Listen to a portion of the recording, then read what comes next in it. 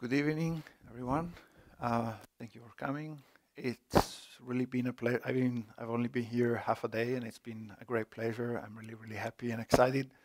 And uh, I received a very warm hospitality, and I'm grateful for that, both to the students I've met and to Professor Moledina. And well, coming from the Fighting Irish and joining the Fighting Scots for one night, it just uh, I do feel uh, at home. And um, yeah, um, if you're you know curious about uh, the way I kind of see my own work, if I really have to define myself and categorize myself, I am a um, political anthropologist, meaning both that I pay a lot of attention to uh, politics and institutions and issues of power, but also arguably that you know whatever I say has a lot of political nuances or uh, implications, uh, as hopefully you will agree. And I do pay a lot of attention to, well, mobility, immobility, uh, sovereignty, democracy, human rights, uh, especially, you know, at this turn uh, of the 21st century. And it's never too early to thank uh, everyone who has made this possible. Um, Amyaz and again everyone for the institutional support and warm reception and hospitality. So, um, and again, I, I will go um, more or less deep, but uh, I do want to keep time for Q&A, and I am looking forward to, to that indeed. I always start with this slide. Uh, well, the piece of art, uh, I will come back to it, but to me it does convey something about international relations uh, and uh, issues of power and negotiation and leverage. And this one, I just, you know, pretty random, caught it in, in Berlin, in Germany. It does convey something about international relations when uh, governments uh, who are responsible for many, many, many millions of refugees uh, use refugees pretty much as a threat. Uh, you know, Russia this this past weekend, saying, "Well, you risk uh, a new flood of refugees if you, you know, bomb Syria or something like that." Arguably, President Erdogan of Turkey uh, can do this with not only Germany but really uh, Chancellor Merkel, but the rest of Europe. But beyond that, um, you know, this is really a very basic starting point. Uh, Turkey, among other countries, hosting, uh, you know, conservative figure 3 million, uh, at the very least, 3 million Syrian refugees, plus nationals of Afghanistan and Iraq. Um, and then if you look at the you know, global list of countries hosting refugees in absolute numbers, uh, not relative to the population, uh, but in absolute numbers, so it's Tur Turkey, Pakistan, Lebanon, Iran, Uganda, Ethiopia, and you know you do you do have to go bit down in this ranking to come to Germany, Sweden, the US, uh, even Canada, Italy, which is what I will be focusing on a little bit. And so this slide really kind of encompasses a bit of my conclusion uh, of my own work and as a premise for everything I will be saying um, today. So I do argue that the right to seek asylum in you know, for the sake of time, the global north, it's not really a right anymore. Uh, it is a right if you look at the Universal Declaration of Human Rights, if I'm not mistaken, Article 14. If you look at the uh, European, you know, fundamental right, fundamental Charter of Rights of the European Union, even national constitutions such as the Italian one, they do recognize the right to seek asylum, which is not the right to get asylum or to be recognized as a refugee, but the right to seek asylum. Well, you really cannot get to the right without paying smugglers uh, or without risking your life. And 90% on average, or the last handful of years, five years or so, 90% of all refugee arrivals and more generally migrant arrivals uh, through the Mediterranean into Europe, uh, or better, the European Union, uh, arrive through facilitation services, through smuggler services by paying uh, smuggler, smugglers essentially uh, pretty obviously because there's really no other route. There's no other venue available, no embassies, no consulates, no remote application. Um, um, other than you know staying in Lebanon or Jordan uh, or etc. etc. So again, uh, right to seek asylum, I do argue it is a commodity that can be bought, or you can have access to that commodity only at a great, at a great human and financial cost. And indeed, even if you get to Europe, uh, it's a favor, it's a sovereign favor that is that is granted through discretion. What interests me, and I think what should be interesting, um, is that, well, not only this is an actively perpetuated inequality in the global responsibility toward refugees, meaning that, well, Europe is ready to give 6 billion euros to the Turkish government in order to ideally and hopefully mitigate the circumstances of Syrian refugees there. But so Europeans are happier about giving 6 billion euros than resettling or receiving or assisting or integrating people using, let's say, the same amount of money. And this is, again, there is a clear objective. The objective is to keep this inequality in the global responsibility to refugees uh, as an inequality, as a you know pretty substantial um, uh, asymmetry. So again, kind of my book, I do argue that this system can be perpetuated only through these kind of gray areas between authoritarianism and democracy. Turkish government right now, you know, does not strike us as particularly democratic or liberal, for example, but also countries such as, you know, Niger, uh, or indeed coming to terms with Libyan authorities, which are not really authorities, they are militias and uh, smugglers themselves. Um, I do speak of mobile borders in, in some articles and even indirectly in my own book. Um, I do argue, and I'll do that you know, very briefly toward the end of the presentation, I do it more substantially in a very little uh, book in Italian, which I regret not having brought, and so I could have given it to the only Italian student uh, on campus, Marco, but uh, you know, uh, this doesn't have to be the case. In other words, crimes of peace is what I focus on, what I find, you know, uh, that is going on in the world and in particular in the European and Mediterranean context, but it doesn't have to be the way, and not just on moral terms, but as far as I'm concerned, on you know empirical, pragmatic, uh, realistic terms, and also with considerations having to do with citizenship and equality. And so I am beginning to conceptualize this idea of migrant uh, democracy. So uh, it is necessary, I believe, to define borders a little bit, especially because I do not mean borders as they, they are, you know, understood, for example, in international relations or, or um, you know, from a geopolitical point of view. And I think there are, there are also a lot of uh, not only analytical but also political implications. So if you're looking into you know ways forward to challenge borders, then okay, we need to understand what a border is. And so um, that's you know that comes close to, to my own understanding of borders.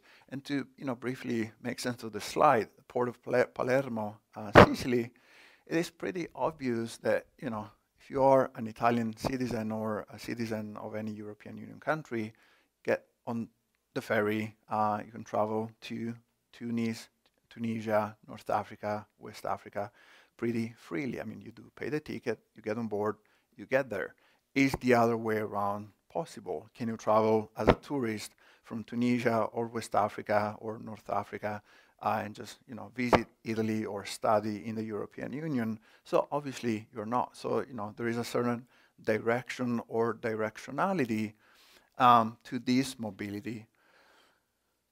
And also there is uh, indeed not you know uh, not a lot of Italians are uh, or Europeans are um, familiar with the history of colonialism. You know, we are familiar with maybe British, Belgian, Belgian, French uh, colonial history, but you know, the border was open uh, historically for colonialism, right, from the north to the south. And what I found striking about this, it's from a, uh, an exhibit in Italy this past summer, when Italian authorities, uh, when they got to Libya, which is roughly a century, slightly more than a century ago, they started writing, you know, books or little booklets about climatology, like the weather of Tripoli and Benghazi, and then, you know, aspects of uh, botanical and um, agricultural uh, aspects uh, of Libya. So even th that knowledge about Libya, the weather, the climate, the agriculture was not purely technical. Does do we ever, you know, produce knowledge that is just purely technical? This was part of the colonial enterprise. And so this pretty, um, you know, dense, but it again comes close to what I mean by borders. Uh, so you can just read the top part, uh, which is an excerpt of my own book, uh, Crimes of Peace. But then uh, I, you know, I've, i was lucky to work with this scholar, Angela Naimou, and she's in literature, so she obviously has a way with words. And in introducing this special issue of the journal Humanity, which I'm, I'm afraid is not open access, but well, we are at the college, and the introduction by Angela is open access, so you can actually uh, read it. So in introducing kind of my own contribution to that special issue, she she really encapsulates uh, my understanding, ironically, of the border, the, the one at the bottom. There's a border that you know follows people, that envelopes people. Uh, that is also uh, a social boundary um, of belonging, of acceptance, even you know when you make it alive uh, across uh, the Euro-Mediterranean border. So what I'm going to do over the next few minutes is give you a sense from you know the south to the north, uh, from Africa into Europe, uh, of mobility and immobility and the various um, you know obstacles and, and, negotiations that happen on these uh, so-called uh, routes. Oops. And I'm going to use a couple of uh, pieces of uh, art that I came across recently in Palermo again in Sicily. And this piece of art by Francesco Piobbichi is titled, um, uh, well, in translation, Oil Goes Through, uh, We Don't, right? Uh, I guess we start to see some parallels here, uh, obviously, with, you know, relationships between North US uh, and Central America, um, by the way. And I can come back maybe in the Q&A uh, to, okay, who's we? Who are these people? In terms of demography, in terms of uh, age or gender or um, uh, countries of origin, uh, trying to get through uh, this border. But you know, as Ami has just said, it's not just people, right? Um, it's, and it's not just oil. We know about oil in Libya, for example, but it's also gas. It's uranium in Niger Niger, for example. Oil, you know, it could be Nigeria, it could be gas, uh, Algeria, ura uranium. There's land in terms of land grabbing by European, but more broadly multinational corporations.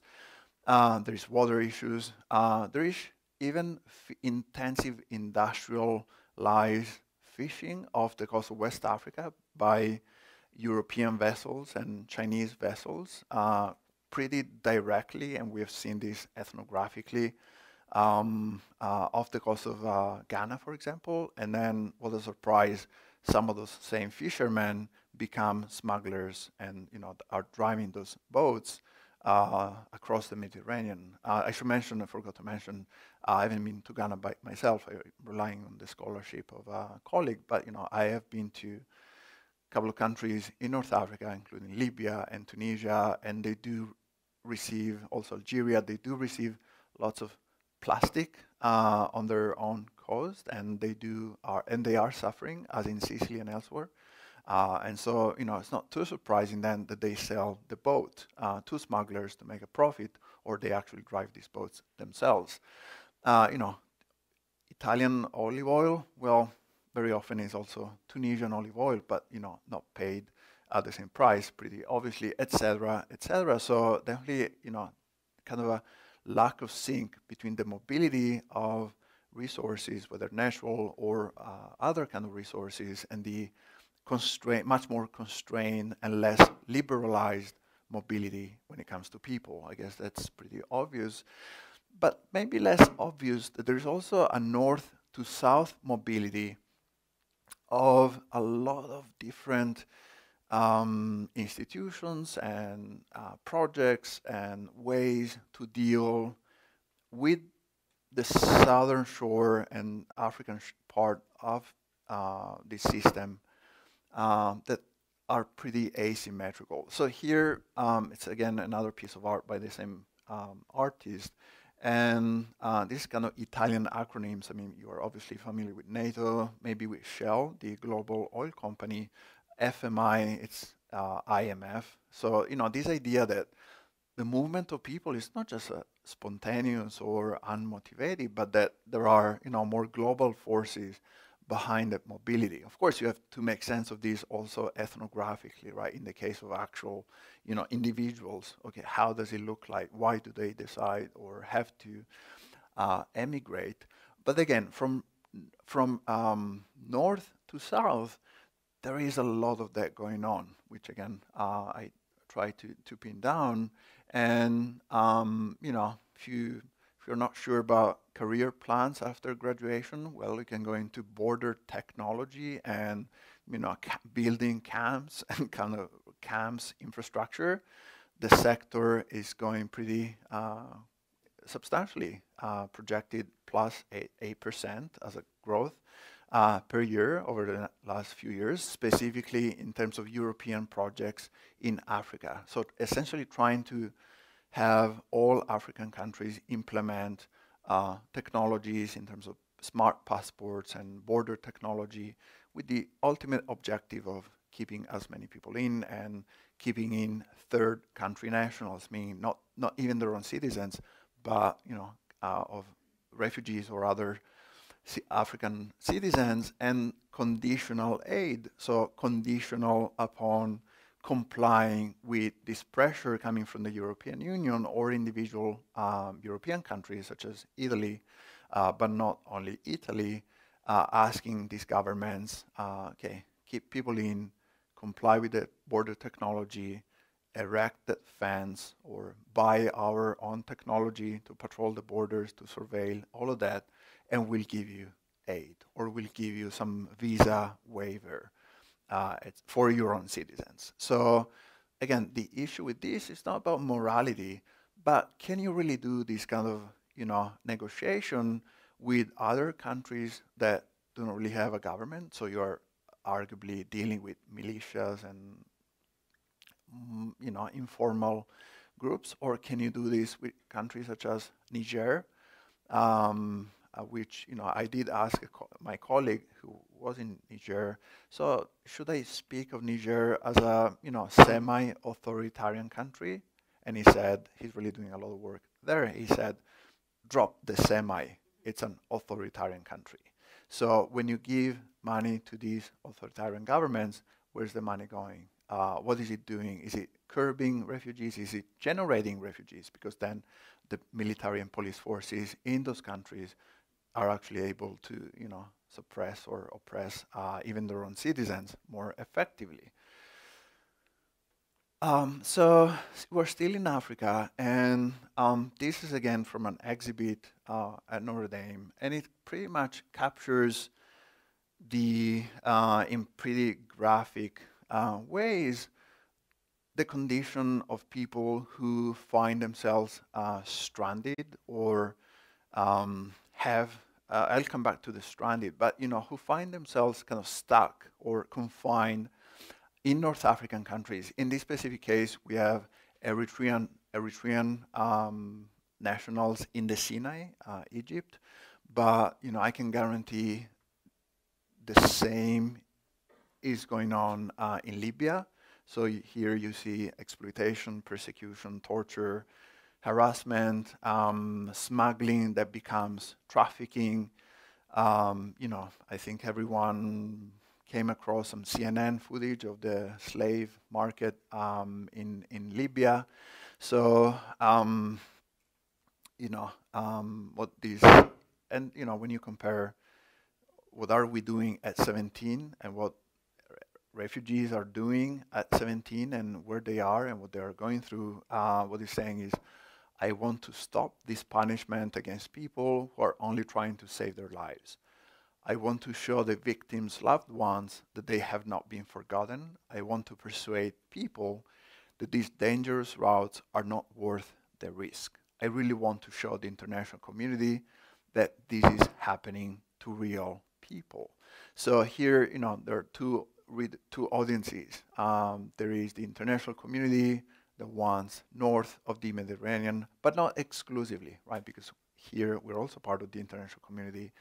Uh, here we could argue, we could see there's some of these going on uh, on Mexican soil, on you know, on the back of Central American migrants, although Mexico, you could argue at least, is a functioning um, state, uh, but, you know, huge issues in terms of drug cartels and some corruption um, and all of that.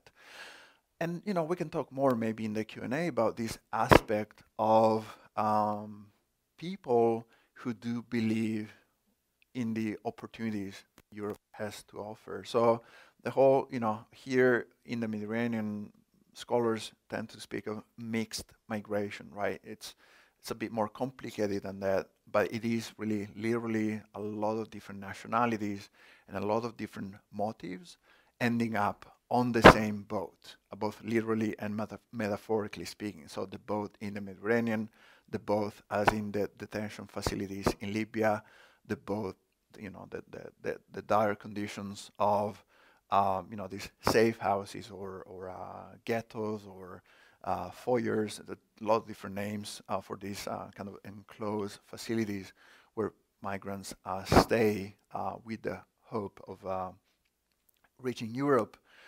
Um, and I should mention that um, Libya and Mexico, by the way, we think of these as countries of origin, right? People are coming from Libya, people are coming from Mexico. They're neither Libyans nor Mexicans, right? These are transit countries. At the same time, they're also destination countries. So Libya, as an oil-rich country, as a Middle Eastern, North African country, uh, traditionally has been hosting uh, millions of, of migrants, uh, people who want to work there, make a living, and then maybe go back, or, or you know, not necessarily having Europe in mind. Uh, obviously, Libya again is a you know, from two different governments to dozens of militias to uh, pockets of Islamic State, Libya is simply not a country where you can envision a future, and you are liable to these to these all the time. Essentially, there's no sense of uh, security, and um, so even if you could stay in Libya, you do try uh, um, going north to a degree, also because as a migrant, um, again, even if you're not a refugee, if you come from Bangladesh, which believe it or not is often the case, uh, Bangladesh to Libya for work, uh, you work a little bit, then you see that there are not the right conditions there. Well, you cannot really go back to Bangladesh. And we do come, you know, to something about gender here. It's not feminism necessarily, but it, it is the importance of gender norms you cannot just go back um, as a male, especially, and kind of lose your face and say, "Yeah, you paid for my trip to Libya. You know, the whole community or the family supported my trip to Libya. I went there, and now I'm I'm coming back with nothing in my pockets. You just cannot do it. Not in West Africa, not in Afghanistan, not in Bangladesh. So essentially, you try your um, uh, your um, well, um, luck by crossing the Mediterranean. And I, I, kind of, I am taking for granted that you are familiar with, you know, the, the fact that there are also a lot of uh, refugees in the more strict sense, right? But also uh, people environmental by, uh, sorry, people displaced by, again, drought, people displaced by lack of access to um, uh, subsistence, or people displaced by corruption for and for all of these we don't really have the kind of global legal categories that you know define people as a refugee or as an economic migrant. It, it is kind of a gray uh, zone. You know, gang violence in Central America is that a good reason legally to be categorized as a refugee in the U.S. Not really, and yet they are risking their life and there is no government or authority that is effectively capable of ensuring their safety. Uh, but again, legally, uh, even with the forthcoming global compacts on migration and refugees, arguably um, the categories are not large enough to accommodate um, this kind of thing and what people leave behind in their own countries. So we are at sea finally, and here I just um, briefly refer to the um, kind of trajectory of um, somebody who is in their mid to late 20s now, uh, Benjamin, uh, person from Iranian Kurdistan. So you know that Kurdistan doesn't really exist, of course, as an institution recognized um, country, but um, he did feel that essentially he was risking his life uh, as a Kurdish person in Iran. And so uh, over several months, or if not years, which is really the norm uh, in this for, for Kurds, Afghanis, and others, um, he made it from, again, Iran to Turkey, then Greece, um, then from Greece on a vessel to Italy, then, of course, by land to France, Belgium, Denmark, which was his intended destination. He was working as a tour guide uh, in Denmark. Then, because of the Dublin regulations, which is essentially if you enter the European Union in any given country, well, that country should be responsible for processing your asylum application or, or immigration case. He was deported or sent back to Italy. And he describes essentially all of this. Uh, it's the wind that wrote my story, which happens to be um, kind of a, an old Iranian Kurdish proverb. But I thought, well, it captures something about how this works. And I think that how this works, how do you navigate, well, mobilities and immobilities, you know, it's not just your agency and how good or entrepreneurial or courageous or whatever you are is also not entirely just, you know, okay, people are just constrained and they have no saying and there's no agency whatsoever. I do think it is a combination of, you know, structures of, structures of power and the border regime and sovereignty and all that and corruption, but also, you know, the discretion, discretion of smugglers, discretion of uh, state agencies, um, individual agency, and believe it or not, also circumstance and luck that can really make a difference, whether you live or not, whether you are, you know, if you're, again, if you're familiar with the wet feet, dry feet, or wet food, dry food in the US, I mean, what is that, right? From Cuba to the US, wet food, dry food. I mean, who's deciding there? Is it the sea, nature, the Coast Guard, the winds, the currents, you know, the engine, how. so um, I do believe this captures something important. So people finally, uh, you know, arrive in a port, such as in this case, uh, which happens to be my, my hometown, where I grew up in southeastern Italy. And, you know, 796 Syr Syrian refugees on this single cargo vessel. And their message is something like, okay, first of all, we're not being trafficked, uh, smuggled, it's fine. We paid and we wanted to come and we're not being coerced. So, and we're not victims. Um, whether they say it explicitly or whether they convey it, it's another conversation. But you know, collectively, I have been talking and interviewing with a lot of refugees over the years, and that's certainly something that it's important to them. They don't want to be perceived as mere victims. Um, and so, okay, if people are not just trafficked into this, then at some point, as Italians or as US citizens, we need to come to terms with the idea that, okay, they're not being trafficked or they're not just the victims of smugglers. So then, okay, they actually want to come or they need to come because they're refugees.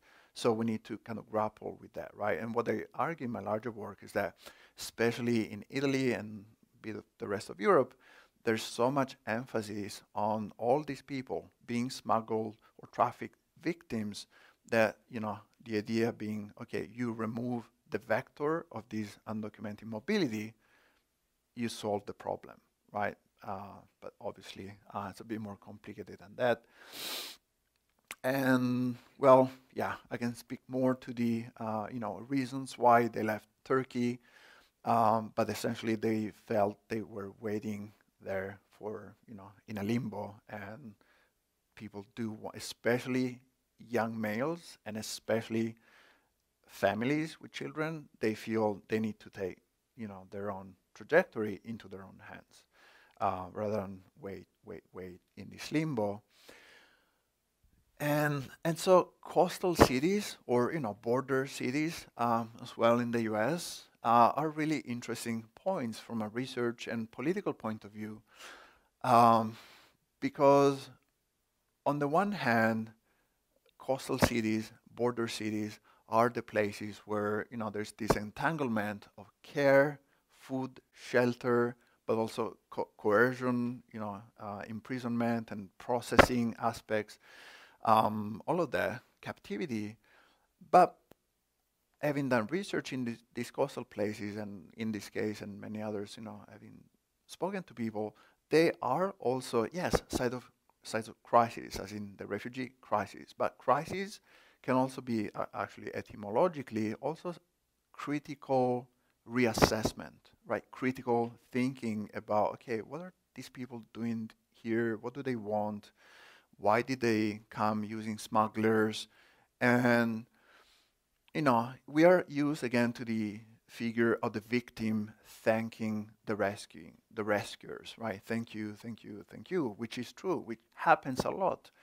But I spoke even with, you know, tough-skinned police agents who spend the night in this port, uh, assisting, helping, coordinating, and uh, believe it or not, some of those police agents were thanking the refugees because you know one of them said, "Well, because they show me, because this four-year-old with her smile show me that you can laugh in life even after you went through hell."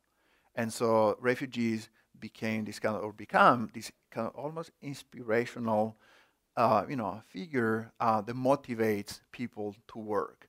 And and that the quote for from Pablo Neruda, uh, you know, aims at, okay, is this embrace really short-term, ephemeral, irrelevant, it's just, you know, redundant?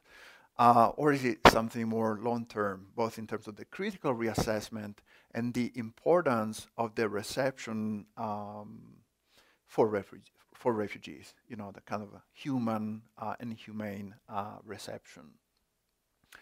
So as I said, you know, I, I was going to come back to the stranded. Um, there are a lot of migrants, refugees. I do realize I haven't really told you, okay, why am I using migrants, refugees, but I'll do that later in the Q&A. But, um, you know, there are a lot of people stranded uh, in Europe right now, not only in Libya and, you know, and Egypt and Tunisia, etc., but also in Europe itself. Europe being uh, uh, the French-Italian border, the Italian-Austrian border, the Greek-Macedonian border, uh, Greek islands, uh, Turkey pretty obviously.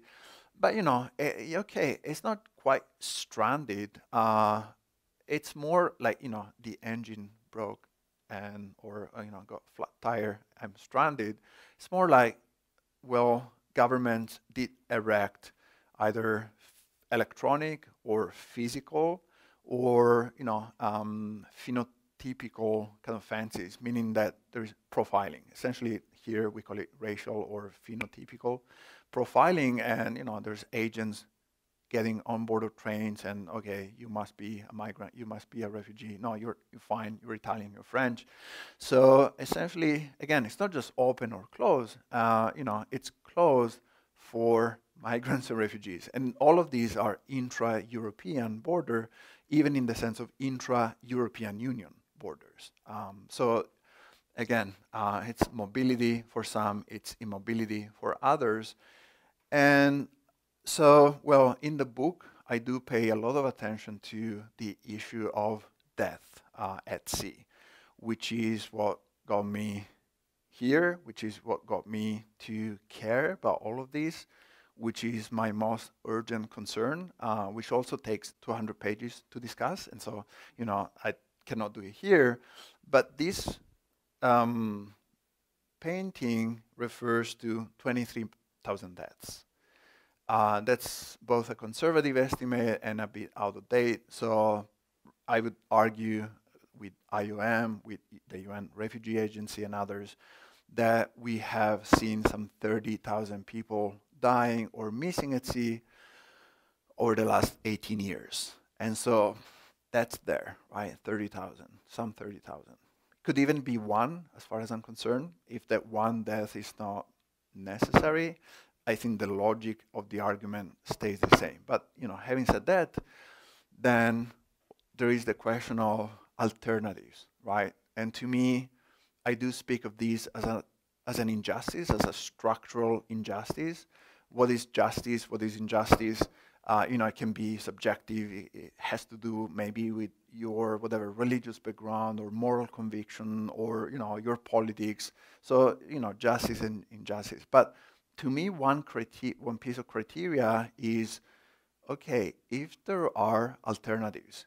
If at least one of those persons or more could have been either saved or not be put into the condition, well, that's an injustice. So an injustice, it's such an injustice when there is an alternative. And I do believe all of these are alternatives. And, you know, I didn't come up with them. It's the IOM, it's the UNHCR, it's different NGOs, it's even some, you know, political parties more than others uh, saying, okay, this could be done, this can be done. It's probably less even financially expensive than everything else that has been tried, than paying the authorities of Niger or Libya or all these countries um, to keep people in. Um, so, having said all of these, who is doing what? And again, refugees and migrants themselves are doing much to push against the wall. And obviously, here there's a reference also to our own wall here.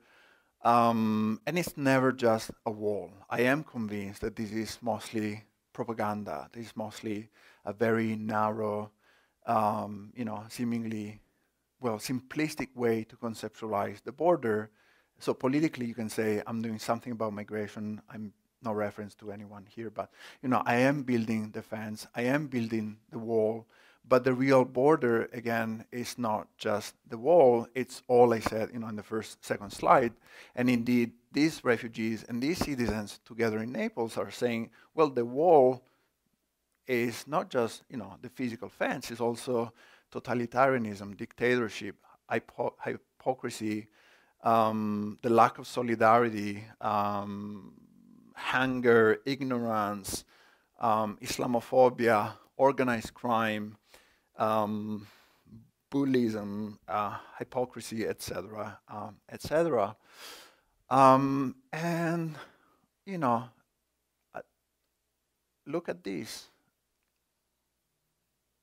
Arguably, I mean, it could have been 10,000 people Getty says, or well, international news agency said, it's about 160,000 people demonstrating in Barcelona on behalf of refugees, asking for more refugees, not the usual thing that we say we don't want them, etc. Right? And this is Barcelona. You know, I suppose sounds like a cosmopolitan place and all of that. Recently, even in a very tiny Italian town, people uh, came came to the street, took to the street because they wanted the refugees, meaning the central Italian government wanted to relocate the refugees somewhere else. And these people in the small Italian town collected signatures and petitioned the authorities to keep their, their refugees there. Now, it's, again, it's not just about morality. There are also some financial incentives in hosting refugees in local communities. Um, but so there is this going on, and this is as true and as real and as you know realistic and pragmatic as the politician or the other citizen say, it's enough. I don't want any more refugee. Uh, enough of them. So um, it's a very special day in Italy. It's you know it's the the Republic holiday. Uh, it's a big holiday, and you know this past year it was characterized by this important um, demonstration Um, again, bringing the border back into the uh, public sphere or public square. Um, the idea, pretty obviously, and of bringing the experience of solidarity that happens a lot where migrants and refugees are stranded, the experience of solidarity that happens a lot in coastal locations uh, and elsewhere, well, but also bringing it more, you know, back to the attention of the public square and square and of the public, well, sphere as well. And so this is just pretty random, uh, something I was involved in this past December, and here's art uh, Arte Migrante, migrant art, which I think really serves as a good reminder for us that ultimately migrant is uh, an adjective, a qualifier, an intersectional, so a little bit about feminism, right? Uh, it can be gender, race, religion, phenotype, but it's a you know intersectional mobilization um, and obviously, there's no you know, pre-existing category of migrant and arguably not even of refugee, you know, independent of whatever framework, uh, legal or political, etc. And ultimately, I do want to play, starting with myself, with what I say is the radical implication of human equality. Here, again, I'm Italian, so I'm playing with etymologies, right? Radical, roots, crisis, critical.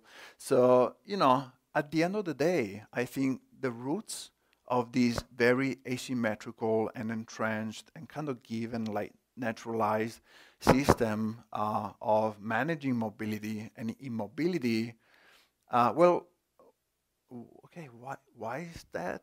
Uh, why, I mean, why are we doing this? Why are we perpetuating this? What justifies ultimately, you know, that human and, if you want, the financial costs of this current system.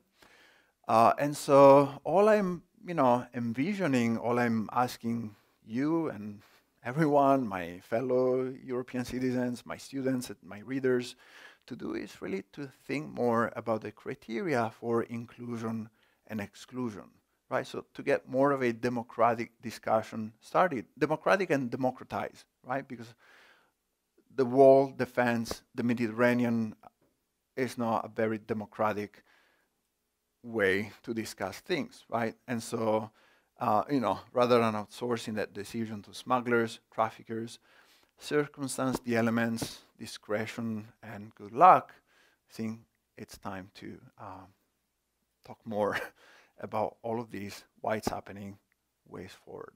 Thank you.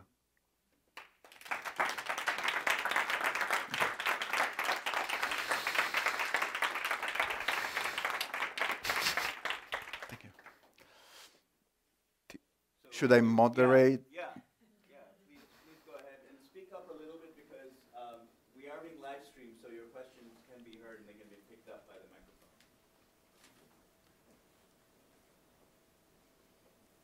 I think I need, you know, at the very least to clarify a few things. I can go deeper. I can, I can speak more explicitly both to gender and feminism. So you can test me if you want. Uh, yeah.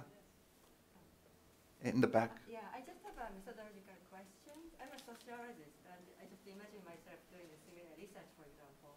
So at the, those uh, port cities, what kind of methodology do you actually use to kind of uh, approaching, uh, you know, the population?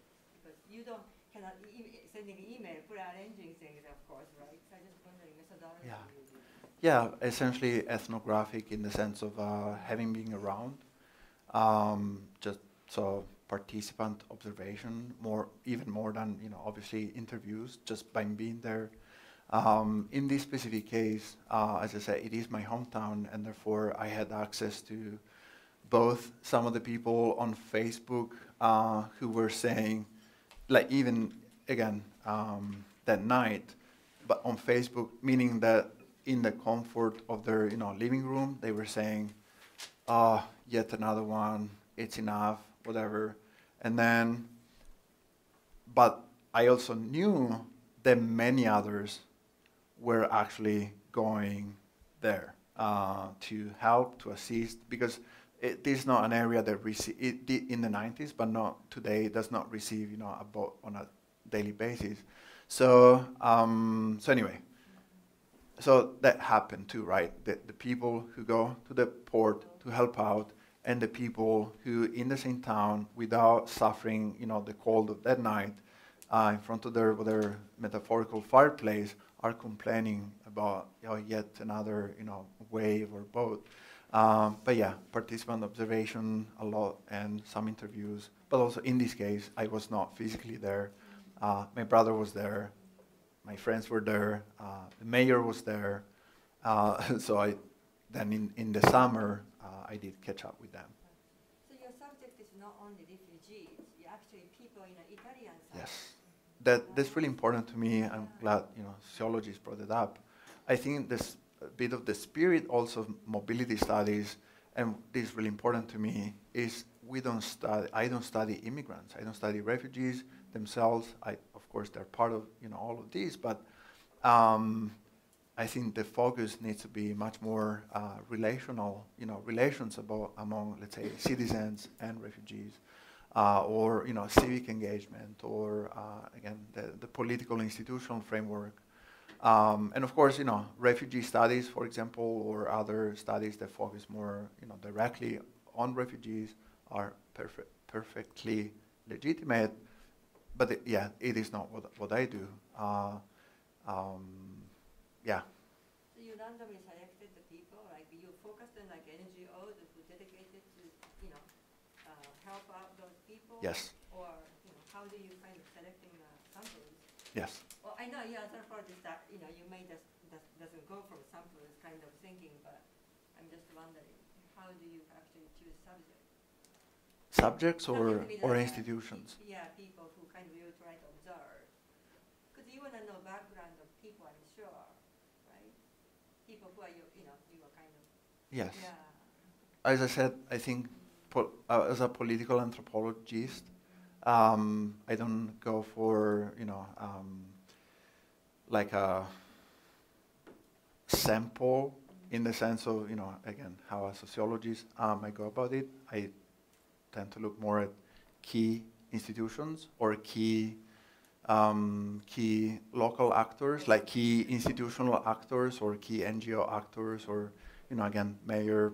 But also, having said all of that, you do have to pay attention to you know the more spontaneous and informal civic uh, engagement. And obviously, in terms of observation, there's no way to plan for you know observing uh, boat landing or uh, all that. I mean, I did that in Lampedusa, where you know it was a boat landing almost daily. But uh, other things uh, I observed without almost wanting them, and indeed, you know, it was not in here. Um, I do build on my own existential and experiential, um, you know, story. I did wrote uh, an article on this. I also, as I said, grew up there, and in the 90s, it was an almost daily history of arrivals. So then, of course, in writing in the book specifically, I talk much more, more about, okay, what does it mean to be a scholar and at the same time uh, a citizen and an observer and a participant? Uh, yeah. Uh, in the back. Sorry. Cannot do Uh, names. I'm Jean Lee. I'm in the English department. So I have two questions, and you can choose whichever one catches your fancy. The first one, um, you s- kind of pointed to sort of economic justifications as to why, you know, sending all this aid is more expensive than totally doable other policies. Why aren't we doing that? But then, like throughout history, history, and even now, I'm just thinking like protecting whiteness, the prison-industrial complex, colonization, empire, like all these things were more expensive than they, you know, it, they were too expensive in fact, and they didn't make as generate as much Yeah. um, capital as we usually think that they must have. So I'm wondering, like for you, what do you think are the reasons that these nations are so invested in uh, still in these in this conditional aid rather than implementing perhaps other policies? Um, so maybe is it something about the visibility of the refugee as a figure? Um, I was wondering how you perhaps theorized about that. And then the second question is, please do tell us the difference between migrant and how you're using those distinctions. Because I, I studied multiply diasporic people, but, um, you know, kind of Yeah. intersecting with refugee studies. But how are you it, using those words? Yeah. I, I, I do like both of them. I think they're both important. And maybe ironically, maybe the first one is easier to answer from where I stand than the second. The first one, I'm glad you know the audience or you brought this up because I I do believe um, it does boil down to ideology or ideologies, not as in leftist or right ideologies, but ideologies that um, you know believe that we take for granted or that those politicians take for granted that are pretty much uh, racial and or racialized or they have to do that have to do with um, I don't like the term Islamophobia, but you know anti-Islamic feelings or presumptions that have to do with the idea that you know going back to my second slide or first slide, it is natural. It's only natural that countries such as Lebanon with you know a recent, relatively recent history of civil war, sectarianism, demographic issues, and, and whatever, hosts at the very least one million. So the country is about th three, four million, but you know, like one in three people is a Syrian refugee. That's normal. That's natural. They're used to it. They're the same people, whatever, and it's somehow unnatural for any European country to receive whether the 1 million people in Germany or the 100,000 or 15,000 uh, or whatever that is, right? So, and that's purely ideological in the sense of, uh, once again, not really thinking through all of these uh, empirically or in the, from the point of view of feasibility, but you know, taking for granted that okay, when people arrive or when people land or when people are rescued, we need to put them in um, uh, confinement, in, you know, into facilities, into which are not just shelters, are also detention and processing facilities, right? Uh, why is that precisely? That's new, right? And in the in the book, I do trace the origin of this idea of the the camp of the containment approach, right? Why does it have, does it have to be? I mean, the mayor Lampedusa is this tiny island south of Sicily. It is part of Italy. Uh, and the mayor of Lampedusa at some point said, well, we have, you know, everyone has a second and third home uh, for summer or for tourists, you know, bed and breakfast, all of that. Why is it that we need a camp for the newly arrived refugees when we have all of these houses? And again, uh, it's about ideology, meaning that, okay, we've been doing this since the 1990s. People arrive, we detain them, so, you know, we just keep doing that um, we have been, or we perceive ourselves as Europeans as mostly white. So that's who we are. And okay, where is it written? Who says so? And how did you come up with white? Uh, you know, in Europe. So you take things for granted. You take for granted that you've been dealing with Gaddafi, the authoritarian Libyan leader, over the last few years before his demise. And so you just do that with the new leaders, right? What's, what is there to think about that? It's all natural. So, um, okay, that was the first one. The second one, I do think that the uh, most general word is migrants. Uh, I do, um, I do, I'm not convinced, okay, I am convinced of the fact that when, irrespective of multiple motives, uh, the people have, or irrespective of the kind of violence, persecution, or lack of protection uh, that they leave behind or want to leave behind, once they get through this process, once they get through the kind of you know process you saw for uh, Philmon in the Sinai, or simply getting through Libya and the desert and also Niger, and the Mediterranean and going through the smugglers and occasionally through the traffickers, you are actually a refugee. Uh, you should be, at the very least, be granted temporary humanitarian protection. Um, but having said all of that, um, so I think this is the case. Um, but I don't want to just say refugees because I do also believe that it, it, it's really not that simple to simply say, okay, refugees can stay, which is what's going on in Europe and also here, refugees to a degree, to a lesser degree. Refugees can stay, everyone else will, will deport. we will deport people to Afghanistan, like Germany intends to do and is doing with people, again, back to Afga- Afghanistan. Uh, we can deport people to a lot of countries where, again, there is no active war. Maybe there is no active persecution, but there is corruption, con- connivences, inability to legitimately make a living. So, and I do not want to participate to just categorizing those people as immigrants or economic migrants, but I still believe that there is something about, you know, the, uh, the mobility idea that warrants using migrants for everyone. Uh, yeah. So anyway, um, much more, but uh, I think there was somebody here first. No. Okay. You and then. Yeah. My question was to that point. So I think in a previous slide you said that the uh, well, first thank you very much. Um, that the they chose said we're not victims, and I think they said we're not refugees. No, we're not trafficked. We're not trafficked. Okay. Um, so kind of choosing to disidentify with the with this kind of narrative of like the poor migrant, you know, something to to feel pity for. How did did they identify? Um, was ki- did they take on the kind of um, identity of the, the, the refugee, or Yeah. was it something else? Yeah, refugees definitely, but not at, but not you know definitely not ready to just be submissive and just definitely trying to keep a sense of uh, autonomy and dignity and agency and um, and just really maybe often going back to the methodological question, um, the very challenging indirectly, without saying anything, the very idea that most people have of the refugee, right? So the refugee, to be a refugee, you don't have to be poor, and you don't have to be, uh, you know, that's not related to being or being recognized as, a refugee. Um, and and and, the, and but there's such a misunderstanding that in Italy, among other places, when people see a refugee who's wearing some whatever Nike or branded shoes and has you know a better smartphone than they have, then they say, "Oh, these are not real refugees." Again, not not related.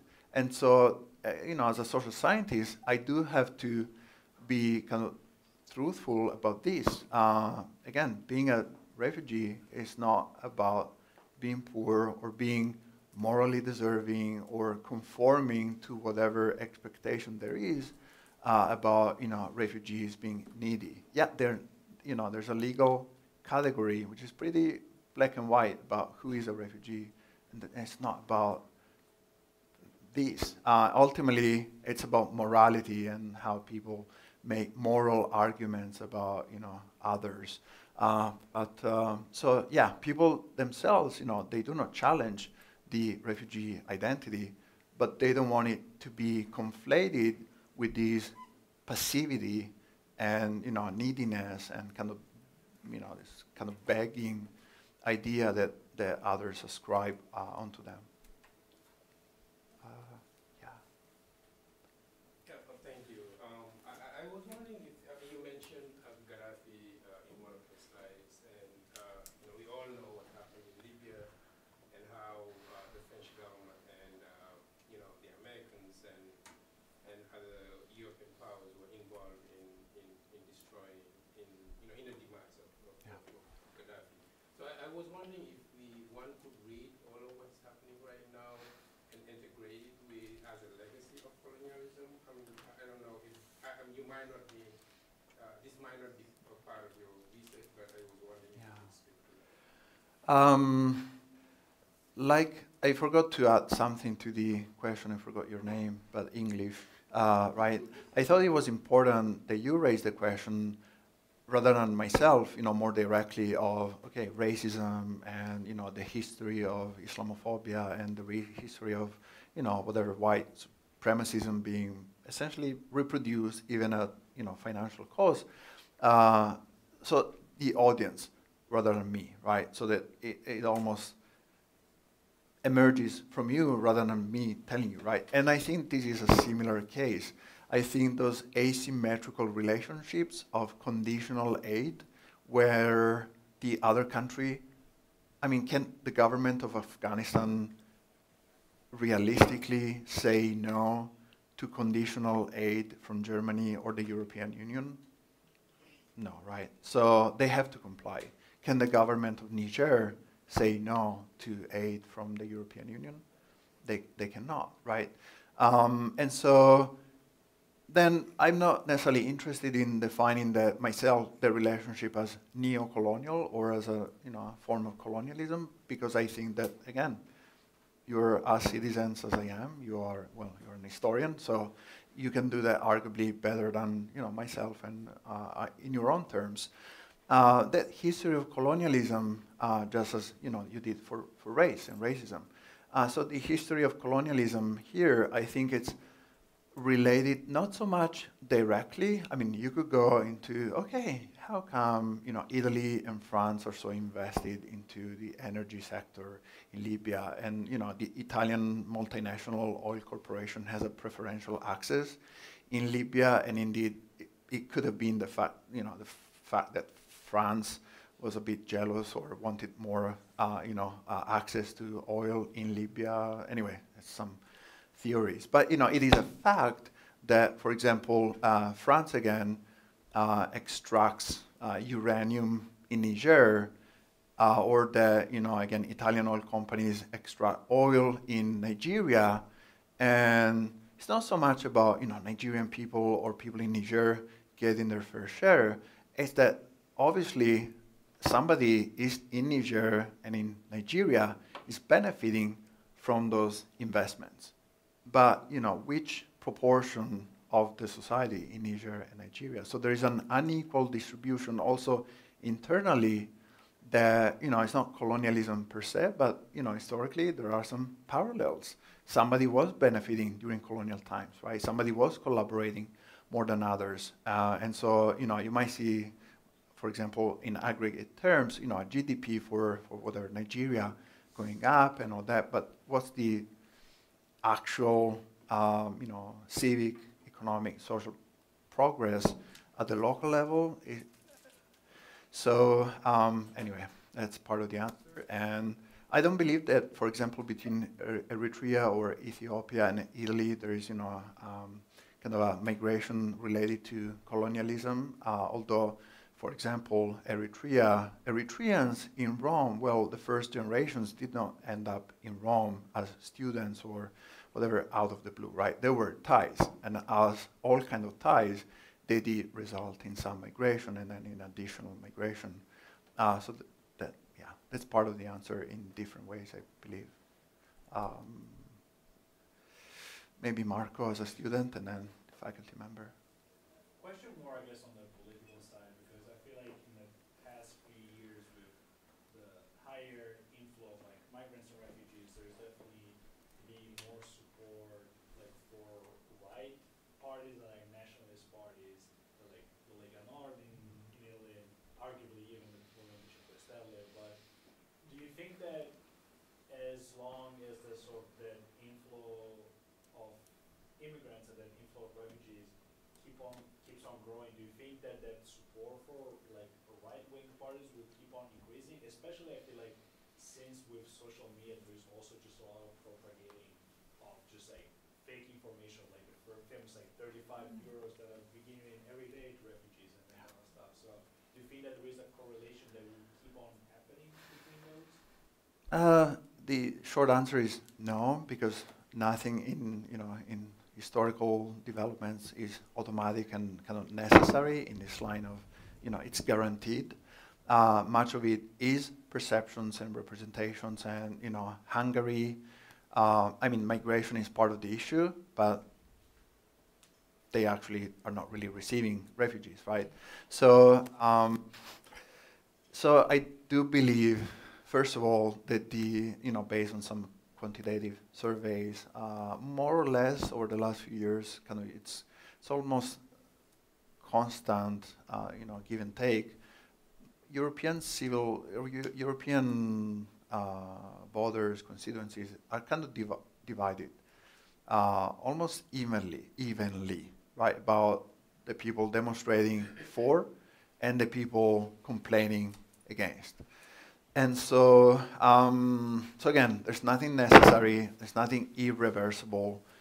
I think, um, uh, I think that, you know, this can be a very complex and also country-specific uh, analysis, but, you know, indeed, if there is no one challenging, uh, the more simplistic, easy to propagate, and easy to absorb discourses about immigration, refugees, the costs, right? If there is no one challenging, then yeah, perhaps. But is there anyone challenging? So if a centrist or moderate government, uh, you know, insists every day on the idea and the trope of curbing refugee arrivals, right? That's a centrist political force. Then, okay, who's challenging uh, the right wing? Right? Or if no one ever mentions, you know, the aging factors, labor issues, the costs of border enforcement, uh, I, I am convinced that even if these numbers were to stay constant and the same, well, if somebody actually mentioned those things, maybe at least as a conversation, it could go forward, but no one really is. And finally, uh, no one is really mentioning the idea or the, the fact that, okay, you have, let's say, 150,000 people on average arriving in this way, kind of surviving the Mediterranean on a yearly basis in Italy, but also Greece, Spain, etc. Well, why do they have to arrive in this way through this channel? Because you know those people are not, I mean, from a sovereign or national whatever point of view, they're not going to be deported or repatriated or sent back. They're going to stay uh, in the country in, in Europe. So why isn't, again, anyone saying anything about, okay, could the same actual, the same or higher or lower, whatever, but you know, could there be more labor?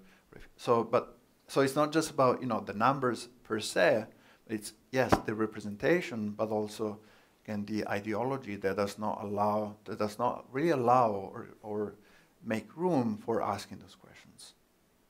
Thank you. Um, I was going to ask you something about the relation between Italy and the EU uh, in terms of the like creating all this like border regime and border enforcement and everything. Now, there's an interesting situation with the Europeanization of the borders, right? Now, on the one hand, these borders are national borders of Italy, but actually they are not because they are European borders. And the EU gives the role to control the European borders to Italy. And that control also means uh, basically buying border technology produced by certain uh, companies. And they are really like a few of them. These are like giant uh, transnational corporations.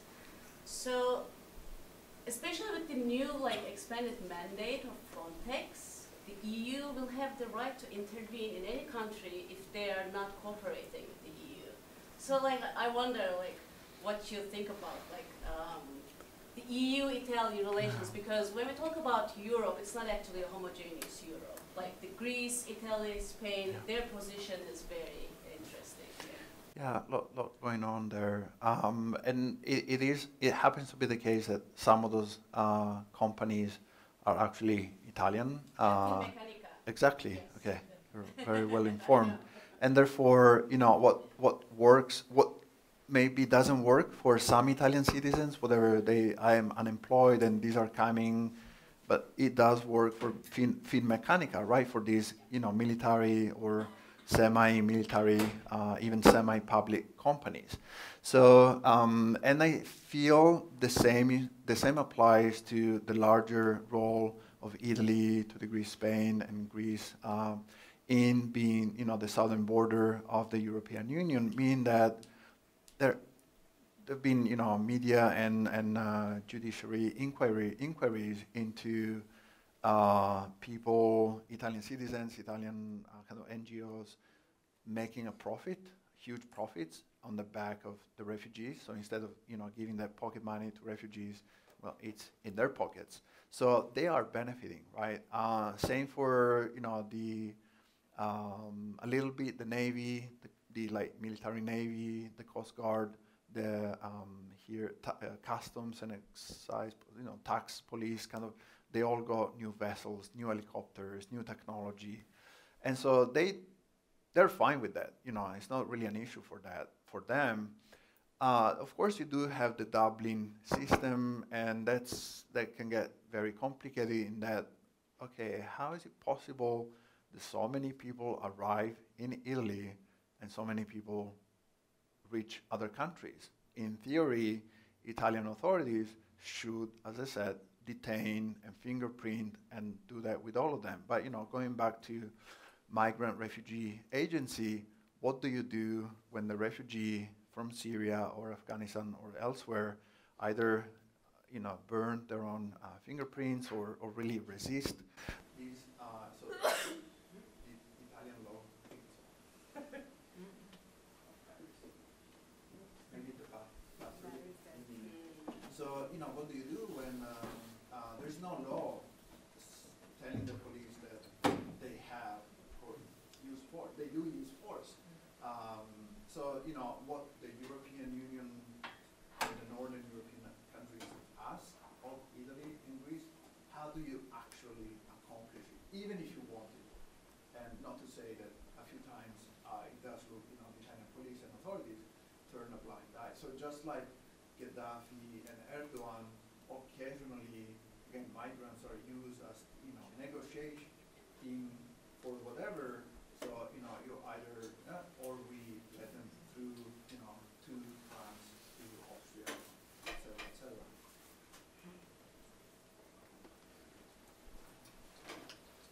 So thank you for the academic story you told, but I think some of the most compelling points I saw in your slides um, were the artist images. So who are these artists? Are they part of the migrant community? And what has their impact? Yeah, well, thank you. I mean, there, there is a point in using uh, art and migrant art and all of that. So, um, yeah, there, there is a lot of premises on the U.S.-Mexico border um, and in the U.S. there is a lot of art that is either using materials, you know, from the border or using themes from, you know, migration, or it can be migrant art themselves. So here with two artists Thank you. Better, so I don't have to shout. Um, we had one artist who's just um, an Italian artist, feeling that, as many other uh, Italian artists, feeling that he really needed to represent, convey, after a lot of thinking, that there was Francesco Piobbichi, right? Thinking that you have to, I mean, that you cannot not pay attention to what's going on in your you know backyard um, as a citizen before than as an artist, which kind of also reflects what I think as a citizen and as an anthropologist. Uh, second, um, and obviously that artist you know spent time in Lampedusa, in Sicily, etc., etc. The other ones again were people um, who went through um, uh, the Sinai mostly and, and, and Sudan, and mostly they were Eritrean and Somal- Som- Somali, uh, maybe some Ethiopian nationals, and that was collected by uh, the Jesuit Refugee Services. Um, and, um, and, you know, many of them were people who were in situations of protracted um, displacement, meaning that it's not people leaving Eritrea necessarily, but people who were already born in refugee camps uh, in, in East Africa.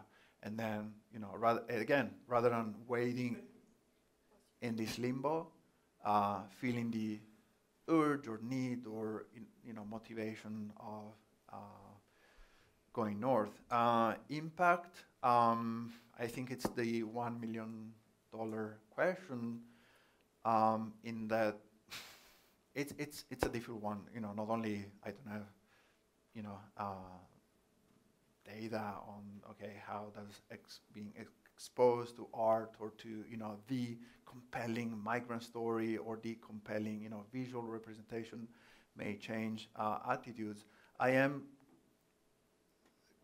convinced that very often I mean, there's a lot of evidence on the following, which is people who do have pretty much a set belief in the opportunity, whether to build a wall or to prevent additional migration, they're not going to change opinion. So even when faced with the evidence, um, people, again, because to a degree of ideology or whatever, they're likely to hold on to the pre-existing beliefs.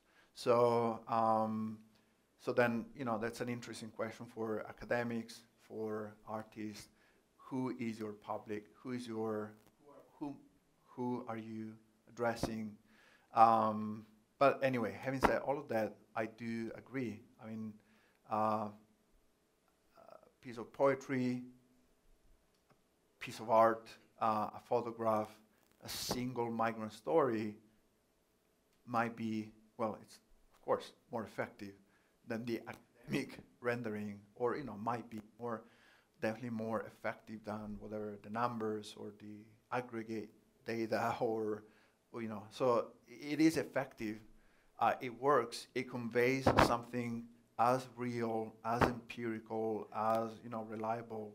Uh, but then the question is, do people follow up on that knowledge, right? So then we move on to another question, right? I think we might be done, but you know, we, we all saw the children dying on the uh, on the coast. We also, you know, Aylan and, and many other people, and we all knew that okay, the family from Syria, they were supposed to reunite with family in Canada.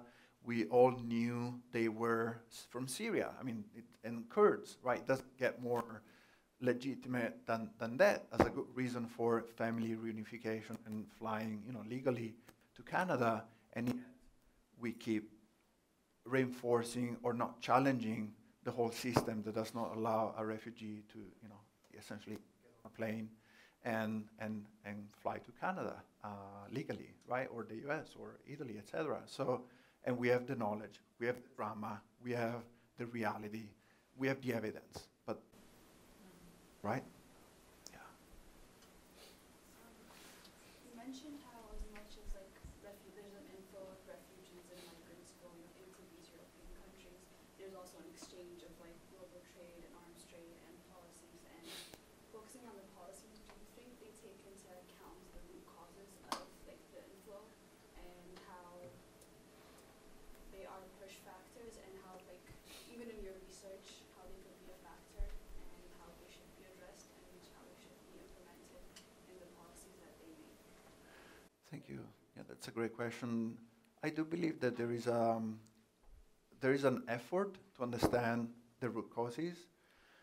Um, they are very often conceptualized in terms of uh, development, um, like economic, financial development, employment opportunities, um, and all of that. But i it is arguably a bit shallow in terms of in terms of lack of understanding that, as I was saying earlier, you might have growth, you might have some development, you might have whatever some companies, you might have some some uh, you know economic progress, but having said that, that does not necessarily uh, curb migration. So um, at, to me, that's a bit. Um, I, I don't think somehow uh, European officials and, and whoever you know deals with migration issues uh, outside of you know some scholarship have really realized that okay, development in the short term might actually mean more migration or a different kind of migration. So so yeah, it's this idea that we we help develop them and then they stay put, which empirically is not true at least in the medium short term. Second, again, it's kind of develop. So it's kind of again kind of a conditional development, or in the sense of development with you know this purpose.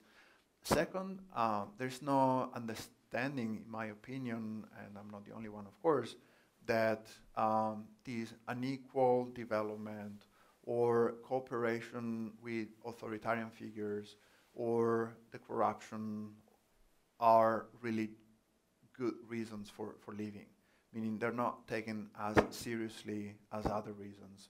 And you know, obviously, I mean, it's not that Europeans or American or whatever can do a lot in terms of, you know, how do you facilitate uh, democratic, democratic civic uh, growth uh, in countries sending migrants? How do you fix some you know structural issues? But at the very least, once again, I think they could do more uh, toward well not exacerbating uh, the root causes. I would argue a lot of this is actually exacerbating some of the root causes. Uh, and even if it's marketed or understood as development. Sorry, that's kind of a convoluted answer, but I hope it does bring out some of the complexities of, um, yeah, the root causes and, and the development um, issues. All of you, uh, well, let's start from, yeah, the back first and then, yeah. Okay. Um, well, you spoke a lot about morality and ideology and how a lot of people are convicted in what they believe. Um, but do you believe that somehow through um, some type of moral suasion, even though it may not be the art that we see in your slides or the poems, if there is a way that some story is going to be able to get through to people who aren't on coast, who aren't dealing with it, and who might not understand the complexity of situations that refugees from Syria or from African countries that you're speaking of that cross the Mediterranean Sea? And do you think that there's a way to educate them more, whether it be um, through truth in the news or truth at, in academia where they go to school, truth in communicating with people in their towns? Is there just a way that the truth can actually get out and how people can actually understand and maybe question their own beliefs, question their government, and question everything that's happening? Okay, thank you. You only you only ask great questions uh, at the college off. I won't even try the second part. But um, so the short answer is yes. I do believe. I do agree for you know with the urgency and need of, of an opportunity of doing all of those, all of those, um, you know, from education, from you know changing the curriculum in in schools uh, in Europe and arguably in some schools here, uh, you know, in terms of how we teach about Europe, the colonial history, the repression, the role of the Mediterranean Sea, and question all of that. But I've been doing this and I've been paying attention to all of these for years. And I I used to every you know after every shipwreck, major one especially, uh, after every death, I used to think, okay, now, I mean they've seen it. Not just the citizens, especially the policymakers. They've seen it. I mean they see the consequences of what they're doing. They will change course. And instead, again, I developed the idea of crimes of peace, borrowing from an Italian scholar. Um, to insist on the perpetuation of a system, right? That we know is not working for everyone, or at least for those people, right? So, um, so now uh, I'm much more convinced of the idea to yes, debate, discuss, talk, engage others, etc., etc. But uh, I'm also um, a bit convinced of the need and indeed opportunity to come to terms with the conflictual nature of modern contemporary societies, meaning I don't get, I don't need, or you don't need to convince of the truthfulness and opportunity of something 100% of the population. I mean, as long as you get 50%, maybe plus one, that's good enough. And I think uh, accepting that the conflict in society and in economics and whatever exists, and that some make a profit and others do not, and maybe trying to, you know, answer maybe to those in society who do not necessarily make a profit out of migration and paying attention to their concerns uh, might be more effective than trying to, you know, convince or morally, uh, moral, you know, moral persuasion or moral kind of conviction. So, yeah, I think dealing with the conflict might be more effective than trying to convince. Uh, although that does not exclude, you know, the sharing inf reliable information and stories and art and data and yeah. Uh, that was the professor. Yes, uh, if you could please speak more, thank you for a great presentation, uh, about the gender and intersectional elements. Uh, Yeah. that you mentioned as well. Yeah. And also, I have a, I'm curious about language and communication. And, um, do you um, speak in English or Italian through translators and Oh. of Yeah, all of, all of, layers be- all of, all of the above. So I'll start from the short one. Um, so in, for most of my work, it's been a combination of it, English, uh, some Italian. For you know, people like Benjamin, for example, uh, they they learn Italian by the stage when I talk with, interview them. Uh, some small, you know, chat in, in French, um, some Slavic languages, because again, not all migrants or refugees come from stereotypical uh, places. A few words in Arabic, so that you know, Spanish, but not that helpful. Uh, anyway, combination of these and occasionally some translators um, that that I do prefer uh, not to have a translator uh, if possible.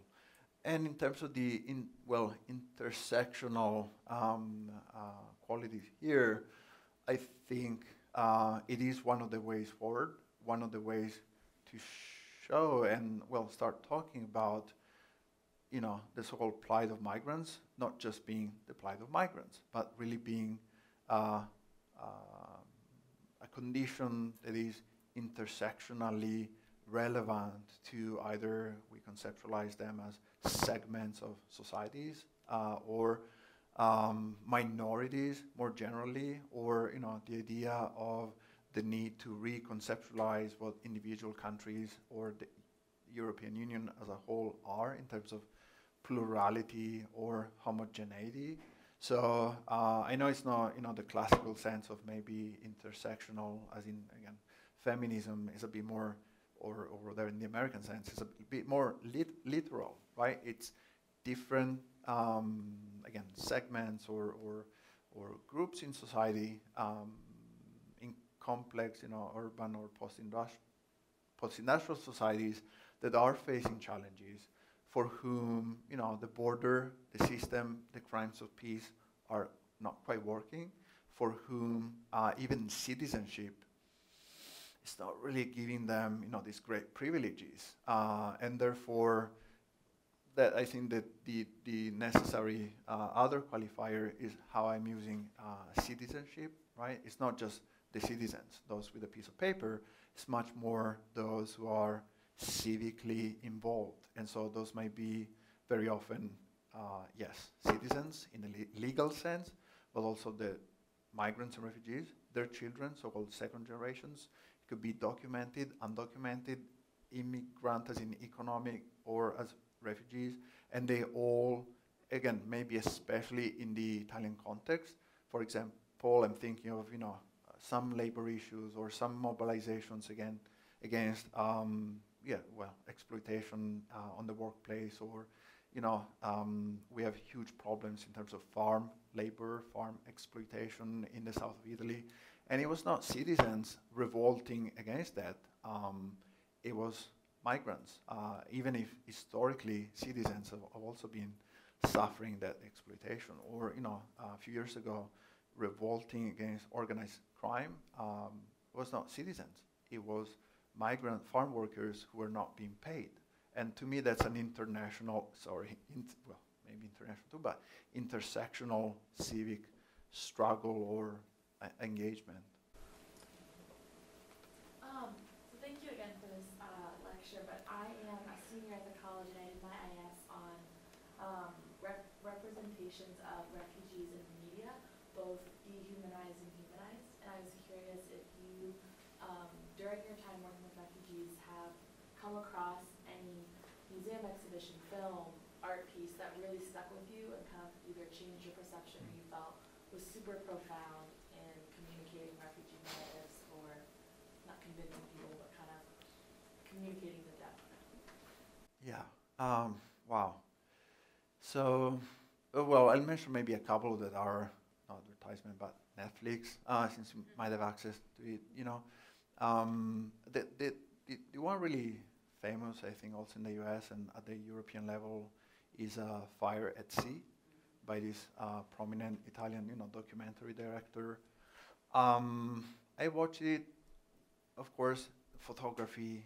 I mean, all of, I, I am into movies and documentaries, and you know, the photography and the quality and the whatever, the, how things are assembled, all that is important, and in this case, you know, it's beautiful. But then, you know, I did ask a few people in Lampedusa, which is where it was shot. Okay, so what do you think about it? And yeah, they, they, you know, it goes back to okay, how do you collect your interviews, or you know, how do you decide whom? And they were quite critical of the, you know, a bit of a emphasis just on the rescue aspect, on the humanitarian aspect um, by the Italian Navy and others. But you know, if you don't show what happens before that or the larger context, then is that good enough beyond the aesthetics? And so, in terms of analysis, right, and in terms of well, political implications. So, so anyway, that could be one. But I think I do agree that it's a bit limited and limiting, especially for people who just see already in the whether New York Times the images and the okay, there's the rescue. Okay, they're not there's not so bad after all. Uh, one I think that that captured more the trajectory uh, across you know West Africa a little bit and then Sicily and uh, also the uh, farm labor exploitation was uh, Mediterranea. Mediterranea. Uh, there was also on Netflix and he is Mediterranea with the final A. He's an Italian American um, director, obviously not really known or recognized in Italy. Uh, had the movie document, uh, sorry, movie produced in the US. Um, you know, I, I, at another panel and also Notre Dame, uh, we had Human Flaw uh, by Ai Weiwei. I still have to watch it. I only watched the first one hour and then the panel people at the previous panel decided, okay, that's enough. It was already 9 p.m. So anyway, it's very long. But so I cannot, you know, speak to that. But I do. I mean, Ai Weiwei. Okay, we know, you know, uh, big figure, background, but you know, human flaw. Sorry, flow. Right. Um, I I always say this is not a flow. This is not why, right? I mean, let alone invasion or you know wave, but to me it does boil down to migrant is a qualifier, um, human of course, but flow. I don't think there is enough, you know, um, recognition of the whatever individual stories, motives, irrespective of the documentary. I'm just talking about you know the uh, the rhetorical trope of the flow right? Cur you can say stemming the flow, curbing the flow, which is the language of mainstream politics. Um, and, and also, you know, under the, anyway, I can go on and on, but I think some, some, some legitimate issues should you put a refugee in front of the camera and the refugee, you know, is distressed as a result of your intervention. At least in anthropology, I know that I'm not supposed to contribute to the stress of the person, not even for a good cause, right? for a documentary, and this has you know millions of viewers, might be different, but it, it's a tough call um, in terms of yeah representation too. Um, yes. Yeah, I just was thinking that rather than flows or I was struck by sort of, you know, in some of your papers where you kept going back to the metaphor of the sea and liquid. And so maybe maybe there's something there. Maybe it's less so categorical or groups of categories, and maybe it's something more, I don't know, liquid. Yeah. I think, you know, the, the liquid uh, is both, uh, I think, a brief reference. It comes from an article of mine. Both, uh, you know, maybe quick reference to Bauman, the sociologist, and you know the whole liquid modernity, uh, without celebration though, because again, doesn't really work for you know for everyone, for those 30,000, for their families left behind. But coming back, I think it's my more you know newer work and hopefully uh, a new book. Sovereignty in Europe, again, going back to ideology, sovereignty is about land, right? Sovereignty is about the soil. Sovereignty is also about this idea that you can fence the sea in some way. There was uh, one of, I think, uh, an Austrian minister who is now the prime minister saying at some point a couple of years ago, well, we need to do in the Mediterranean what we did uh, in southeastern Europe. I mean, the, in southeastern Europe, we got the fences going. Now we need to do this in the Mediterranean, right? So, okay, uh, obviously not in a, in a literal sense, you know, not sure what they meant. Uh, I can come back to the technicalities of, you know, interception at sea and all of that, um, the capsizing. And, but having said all of that, I think this, so the Mediterranean, uh, what I would argue, you know, European governments are trying to do is to use the Mediterranean as well a boundary between, as you know, separation between Europe in a very Eurocentric way, uh, Africa, and Asia or the Middle East, right? Where these peninsulas and or land masses ever segregated historically? I, I don't think so, right? I, historians might correct me. So, so then that's one layer. The second layer is perhaps the, you know, uh, well, inability of the Mediterranean Sea to be constrained, to be claimed as their own by any one party or nation religious group, right? It's, you know, we used to call it in the ancient Roman Empire and during fascism, our sea, right? Today, that cannot be realistically accomplished by everyone. I mean, ISIS in Libya, they tried to, you know, capture some coastal cities. Um, oil companies, they try to carve, you know, their drilling and whatever trade spaces. The military, NATO, uh, countries, you know, like to control their own fishing and search and rescue areas. In reality, it's the sea. And one really important thing for me as I'm thinking about the sea and infrastructures at sea and all of these, that the sea is not still. The sea is continuously moving, and it literal, literally carries people, um, you know, uh, in their movement. Uh, and, and so what you know, then in more pr- productive terms, can the sea help us, not, I mean, scholars, but also citizens, politicians, toward a rethinking of what does Europe mean? What does a country mean? What does sovereignty mean in the 21st century? What is a border in the 21st century at this time of mobility and, and you know, all, again, the trade, the circulation, the exploitation, whatever that goes on in the Mediterranean. So yeah, that's a great question. Again. We'll, we'll end on that because it's 9.20 and I'm mindful of the time. Some people have a long drive home. So uh, thank you very much. Thank you. Thank you.